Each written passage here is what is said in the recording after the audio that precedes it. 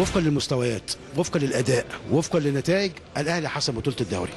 والأهلي يستحق إنه يحسم إنه إنه يحسم بطولة الدوري وإنه يحصل على بطولة الدوري.